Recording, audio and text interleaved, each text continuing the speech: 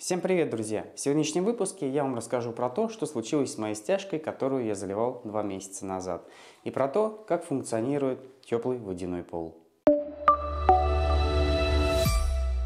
Для тех, кто не видел предыдущий ролик или уже забыл, напомню, что стяжку я заливал э, на новогодних праздниках. Перед этим я сначала раскатал трубу для водяного теплого пола и э, заливал стяжку с помощью пескобетонной смеси М300. Толщина стяжки у меня получилась 5,5 см и стяжку я лил э, в два дня. В первый день я залил первую половину комнаты и во второй день э, я залил вторую половину комнаты. На следующий день, после того, как я полностью залил всю комнату, я с помощью правила срезал все неровности со стяжки. И последующие 5 дней с помощью воды я каждый день ее увлажнял. И, соответственно, укрыл ее обычной полиэтиленовой пленкой и оставил сохнуть на 28 дней. Но из-за того, что я начал заниматься вопросом внешней отделки, а, кто, кстати, не видел ролик, то ссылка будет в описании, к сожалению, я не смог проверить э, стяжку через 28 дней, а получилось у меня только дней примерно через 35 или 40. Но этого времени вполне достаточно для того, чтобы стяжка а, высохла и набралась прочности. Дело в том, что стяжка треснула, но треснула она только посередине и только по маяку, который как раз разделял две стяжки, которые я заливал в первый и во второй день. Но, честно говоря, я не знаю, почему это произошло. Может быть, как раз это из-за того, что первую часть я заливал в первый день, а вторую часть во второй день. И первая стяжка уже успела а, высохнуть, но немного вот на краях и набрать какой-то прочности, а вторая стяжка, когда легла на нее, то они не соединились, и при высыхании пошла трещина. Но трещина небольшая, и по всей своей длине она, наверное, миллиметр или два, а то и меньше. И для того, чтобы понимать, будет ли она расширяться или нет, я одну часть замазывал плиточным клеем, и нет, уже месяц э, трещина как была, так и осталась. И, ну, в смысле, она не расширяется, что уже хорошо. Не знаю, насколько критична эта трещина или нет для стяжки, но по сути это же не несущая стяжка, она просто играет роль э, теплоаккумулятора. И, в принципе, стяжка отлично справляется со своей задачей, и в комнате очень тепло. Но об этом чуть-чуть попозже. Сейчас э, такой вопрос к моим зрителям.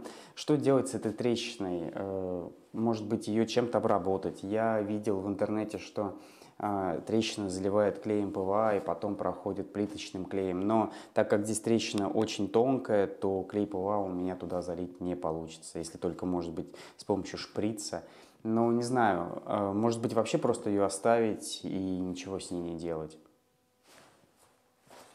Если у вас есть опыт э, решения такой проблемы, то, пожалуйста, напишите в комментариях. Дубль.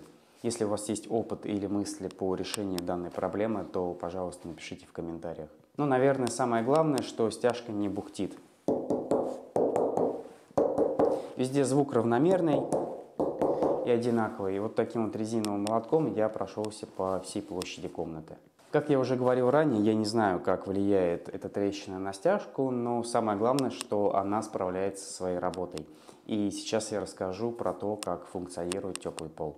Напомню, что коллекторы для теплых полов на подачу и на обратку я делал сам.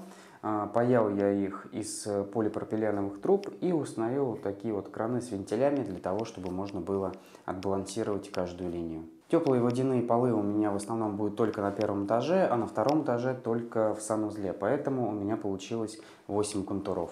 Перед коллектором на подачу у меня установлен насос. Кстати, отдельное спасибо моим зрителям, которые в одном из предыдущих роликов про проблемы с газовым котлом заметили, что циркулирующий насос у меня установлен неверно. Но на тот момент он у меня не был запущен. А почему он стоял неверно? То есть вот этой частью он стоял вверх. Так устанавливать нельзя. Действительно, я посмотрел в интернете, что основная часть насоса должна находиться в горизонтальном положении.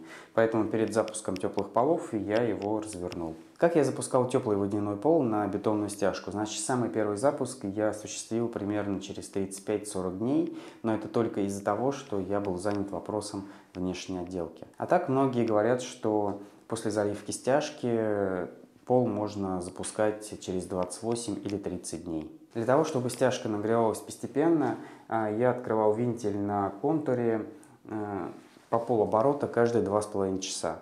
Но сейчас он у меня открыт максимум на 2,5 оборота. Этого достаточно, потому что э, тепло, температура теплоносителя на котле у меня стоит 66 градусов, и, соответственно, на теплые полы нельзя пускать температуру выше 60 градусов, и то это очень много, ну, ногам будет не очень комфортно.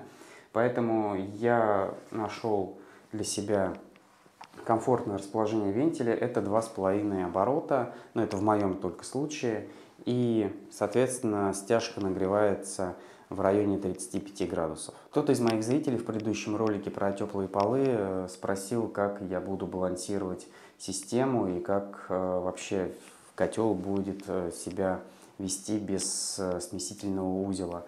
Но дело в том, что вся эта система функционирует уже месяц и никаких проблем нет. На котле выставлена температура, как я уже говорил, теплоносителя 66 град... 65 градусов.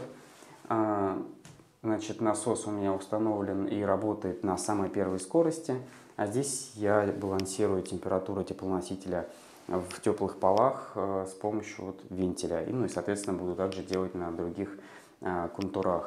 Но для того, чтобы понимать, какая температура, ну, э, здесь два варианта есть. Либо просто по ощущениям за, ну, пробовать и уже открывать или закрывать, либо, как я, с помощью лазерного термометра. Вот с помощью такого термометра я замерял температуру стяжки.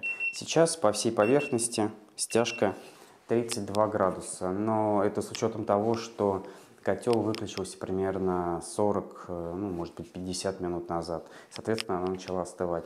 А так здесь э, температура в стяжке по всему периметру держится 35 градусов. Через неделю после того, как я запустил теплые полы, я понял, что в комнате очень жарко, и я перекрыл оба радиатора, которые здесь есть. Один здесь, значит, на 8 секций, второй на 4 секции. Ну, соответственно, один возле большого окна, другой возле маленького окна. И все равно здесь э, намного теплее, чем в других комнатах. То есть, когда в комнате, там, где у меня стоит термостат, или вообще в других комнатах, температура э, в помещении 24 градуса, то здесь температура на 2,5 или 3 градуса выше. То есть вот в последний раз, когда я начал снимать ролик, смотрел, сравнивал температуру, то э, в коридоре была 24 градуса, ну и, соответственно, в других комнатах, а здесь была 27 градусов. Поэтому я делаю вывод, что даже несмотря на трещину, стяжка вполне справляется со своей работой и выполняет свою функцию. Ну а что же я буду делать дальше со стяжкой? Ну, в самую первую очередь, я ее хочу немного шлифануть, а, убрать небольшие неровности и, так скажем, привести ее в более презентабельный вид. Для этого я уже заказал специальную насадку для болгарки, которая будет удалять а, всю пыль сразу в пылесос. И мне остается купить только алмазную чашу для шлифования бетона. И, соответственно, подумать, что же делать все-таки с этой трещиной. Здесь я еще э, почитаю информацию в интернете и надеюсь на ваши советы в комментариях. Трубу для теплого водяного пола на всю необходимую мне площадь я купил сразу, поэтому я теперь не переживаю на тему, что цены на трубу вырастут, и это будет уже намного дороже в связи с последними событиями. Поэтому мне теперь нужно будет просто закупать э, пескобетон, э, кстати, который тоже уже подорожал на 30 рублей с момента того, как я заливал эту стяжку. Но я, конечно, не буду сейчас там все это скупать, как делают многие, ну, уже буду по факту, наверное, либо закупать по чуть-чуть и привозить сам, либо по факту уже в конце, когда я буду точно знать, что вот мне нужна такой, такой-то объем пескобетона на эту комнату, то буду заказывать доставку. Ну а на этом я с вами прощаюсь. Надеюсь, что данный выпуск был интересен, а кому-то даже и полезен. С вами был Вадим, проект 22 сотки. До новых встреч!